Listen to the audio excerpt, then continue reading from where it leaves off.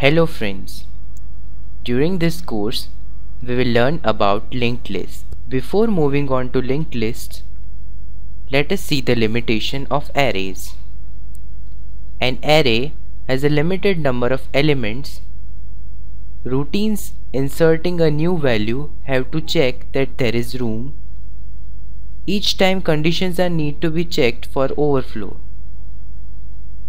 This problem can be partially solved by reallocating array as needed, but adding one element at a time could be costly. One approach could be to double the current size of the array, but even that would not be efficient. So, a better approach is to use a linked list. Now, what is a linked list? A linked list is a data structure consisting of a group of nodes which together represent a sequence. It is a series of connected nodes. This is a pictorial representation of a linked list. Each node contains at least a piece of data pointer to the next node in the list there is a pointer to the first node called head and the last node points to null. The above diagram shows the logical representation of a node of a singly linked list. Now the types of linked list. Types of linked lists are singly linked list, doubly linked list and circular linked list. Now let us talk about the garbage collector. The algorithm for managing memory is often called garbage collector.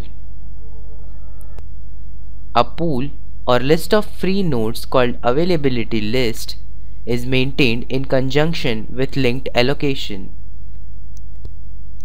Whenever a node is to be inserted in a list, a free node is taken from the availability list and linked to the former list and vice versa for deletion.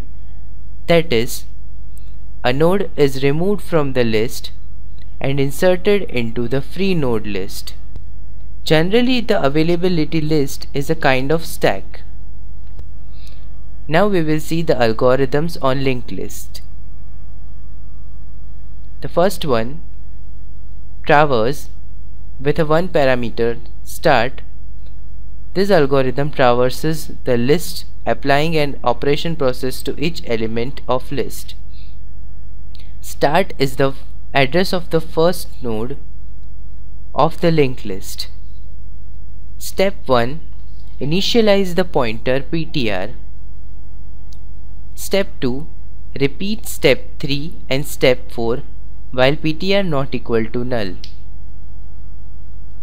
Step 3 Apply process to info of PTR. Step 4 PTR must now point to the next node. Step 5 Exit. Now let us see a C++ code of insert algorithm of singly linked list which inserts a node according to the sorting order. For defining a node, we use a type def, type def struct ll integer data struct ll star next and node semicolon. Now the function insert. It has return type node star and two parameters integer x and node star first. We create a temporary variable node star latest equal to new node latest of data equal to x if first equal to null, then assign latest of next equal to null and return latest. If latest of data is less or equal to first of data, then assign latest of next equal to first and return latest. Create a new variable node star temp equal to first while temp of next not equal to null and temp of next of data less or equal to latest of data then temp equal to temp of next. Latest of next equal to temp of next temp of next equal to latest and return first. Now let us see a code for deleting a node node star del it has two parameters node star first and integer x if first equal to null then write cout slash n empty list and return first. Then create a new variable node star temp equal to first and star pred. Write a loop while temp temp of write a loop while temp of data not equal to x and temp of next not equal to null assign pred equal to temp, temp equal to temp of next. End the loop.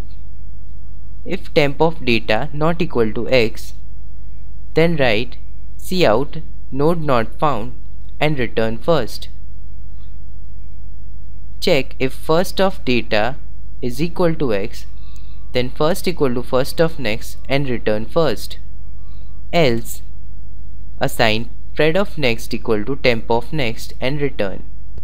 In the next tutorial, we will discuss about the circular and doubly linked lists. Thank you.